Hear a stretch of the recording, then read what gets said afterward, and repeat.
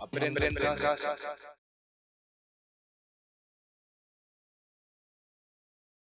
Hola, en este vídeo vamos a explicar el papel tan importante que juegan las sales minerales en los seres vivos. Las podemos encontrar en estado sólido o disueltas.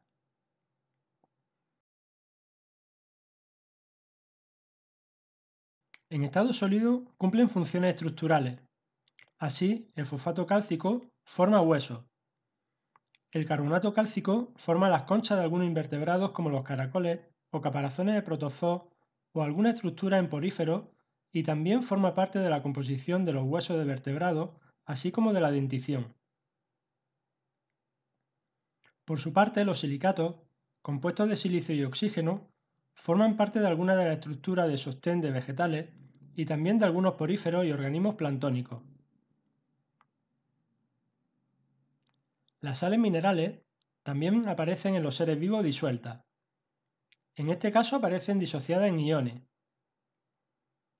Ejemplos de iones positivos, también llamados cationes, serían los iones sodio, potasio, magnesio, calcio y el hierro en sus dos formas.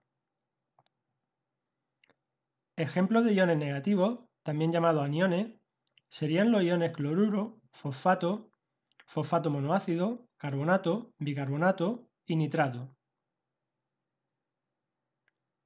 Las sales minerales disueltas son importantes para mantener la salinidad de los organismos.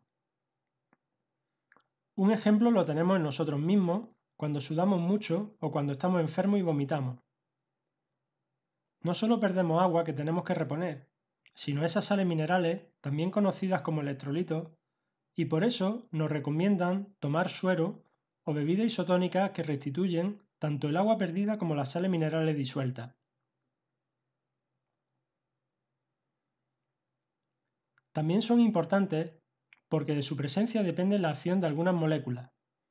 Por ejemplo, algunas enzimas precisan de algunos cationes como cofactores para poder activarse y realizar su función. Otra función que cumplen las sales minerales disueltas es posibilitar que haya señal eléctrica en los tejidos, al tener diferentes concentraciones en el interior y en el exterior celular, creando de esta manera una diferencia de potencial. Además, presentan dos funciones más muy importantes, como son la regulación del pH mediante los sistemas tampón y la cuestión osmótica, que se desarrollarán más detenidamente en vídeos por separado.